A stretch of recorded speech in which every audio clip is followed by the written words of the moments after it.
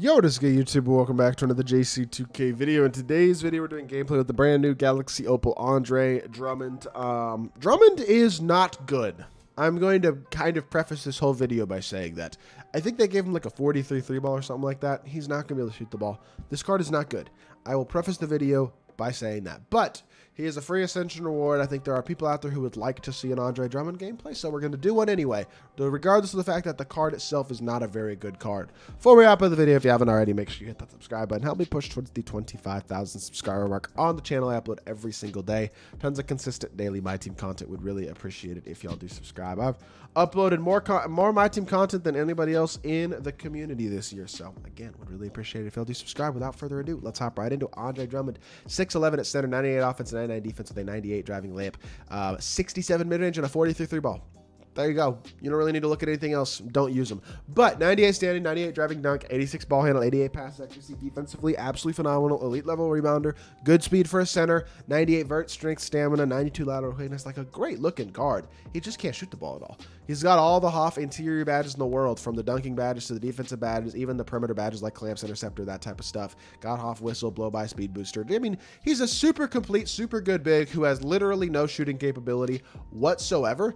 And that massively limits the quality of this card. There is one way to play with him effectively, and that is to use him as a screener and a roller literally every single play. That is the only way in which Andre Drummond is halfway usable on the offensive end of the court at this point in the year. Non-shooting bigs will get you entirely played off the court uh, unless you know exactly what you're doing. Now, his release, funnily enough, is actually not that bad. It's honestly relatively smooth and pretty fast. It's just that his uh, ratings are so bad that it almost doesn't matter. If he had a, it's actually a very quick release. If I'm shooting all slide lates, if he had a uh, three ball rating, he'd actually be kind of nice because I haven't greened with him yet. But once I do, I think I'm actually there. You go. I mean, it's it's super quick. I'm not gonna lie.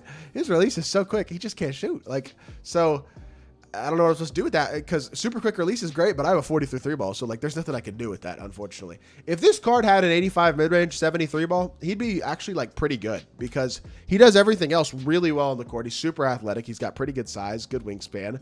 Uh, obviously, an elite level rebounder and defender. It's just there's a lack of there's a lot, complete lack of shooting ability that holds him back a lot, I think. Um, so, I don't know. Pistons Andre Drummond was a pretty good player, man. And I think he was overrated at times um, and then became a little bit underrated. And I don't know, he had an interesting impact on the NBA for a few years there. Andre Drummond, I'm excited to use the card. I enjoyed watching him in his prime.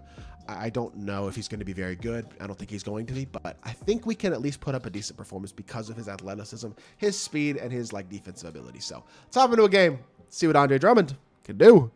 Luckily, our opponent's team isn't very good. He's got Pink Diamond Steph, Opal D Wade, and then Mikal Bridges at the three, um, Luke Longley at the four, and Diamond Bam at the five. What a strange, bad team, honestly.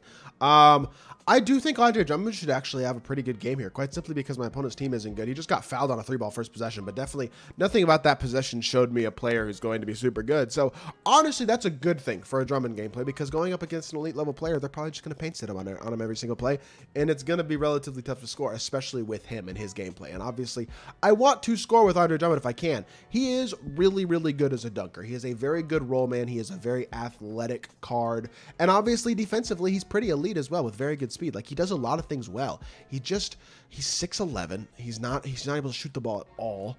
Like he can only play center and he can't play center really. He, he just can't play because there's lack of shooting ability. That's just honestly the truth. But it is what it is. Let's run the floor. Throw it over to Larry. Larry catch backdoor. Mr. Drummond. Drummond catch dunk. Beautiful.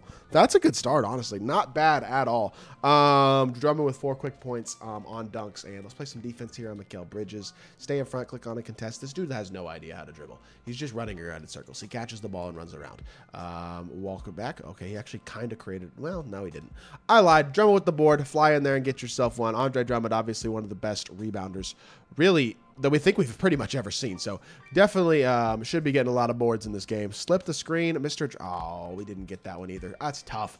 Get back, stay in front. He's going to try to go up with Wade, but we do a good job there. And Drummond comes in and vacuums up a board. There we go. He's stat padding just like in real life. Quick slip the screen, Drummond catch, Drummond dunk, attack the mismatch. And you know what? It's looking just like real life. Andre Drummond racking up the stats, points and rebounds so far to start out this game. Steal for SGA.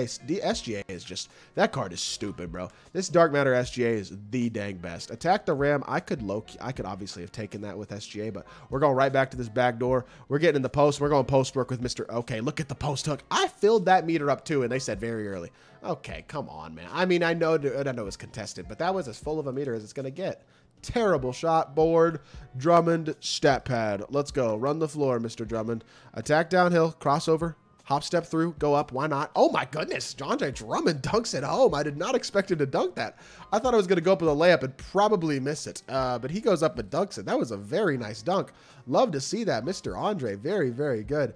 He's got 8 and 3. Like I said, he's a stat pattern. Get another board. Come on, Andre. 8 and 4. Let's freaking go. This is fun. This card is not good against a good opponent at all. But against a bad opponent, he's usable. And that's kind of fun. Eight points, four rebounds, one assist so far in two and a half minutes.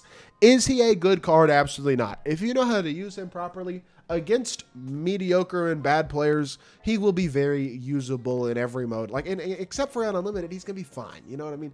But the thing is, I am confident there's about 30 cards at each position that I would be fine using at um, any time and still having success with in any mode other than unlimited, pretty much. And that's just the way the game is if you have a certain skill set. So if you're good enough at the game, just use the cards you want to play. Use at the end of the day. Like there are people out there who like Andre Drummond. I'm sure there are, and they want to use them use Andre Drummond in every mode except for the sweaty mode, which is really unlimited. Um, for I mean, most people aren't even playing unlimited because it's not fun, and I don't really blame them. Use the cards you want to use. Andre Drummond is usable. He can't shoot the ball. The card competitively sucks, but like, he's big, fast, can defend, can dunk, kind of fun to use. If you're an Andre Drummond fan, have some fun with it. Use the card. He's certainly not awful.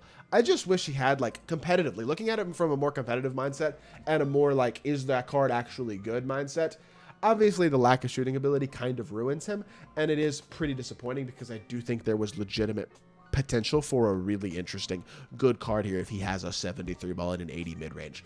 But unfortunately, that's just not the case. So I don't know. If they're going to make a bunch of other non shooting bigs able to shoot, make a guy in Drummond who actually did shoot some threes, more than some of these non shooting bigs who can shoot the ball at least. Make him able to hit a three. Because I, okay, I'm not, I'm not, I'm not trying to go on a little bit of a rabbit hole over here, but I'm just going to briefly make this point. I know y'all don't care that much, but Andre Drummond has like actually shot some threes in his career. There was a couple see, there was a season there in Cleveland where he shot like two threes a game. Now he wasn't efficient, but he shot them.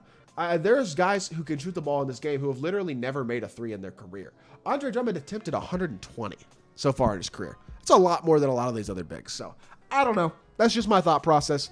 Um, would be nice if they at least gave him a little bit of shooting because he'd be a lot better, but it is what it is. No need for me to really rant, and I am sure y'all don't really care that much anyway. So I hope you did enjoy the video. If you did, make sure you hit that like button, leave a comment, and subscribe. I'll be back with more 2K content very, very soon, and I appreciate y'all. Peace.